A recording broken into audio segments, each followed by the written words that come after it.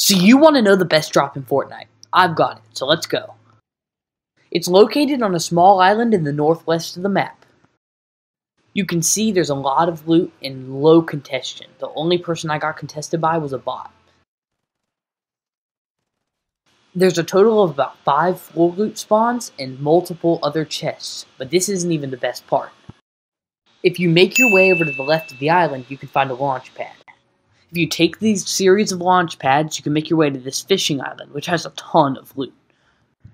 After you've made your way around the island, you can quickly make your way back out to the launch pad, which will then allow you to take your shot over to this vault. Just simply hit these two launch pads and climb up the hill, and you'll find yourself over at a vault. Once you've killed the boss, you can make your way down to the vault, get your loot, and have a good game. We're on the road to 1000, so make sure to subscribe if you want to see more content like this. God bless.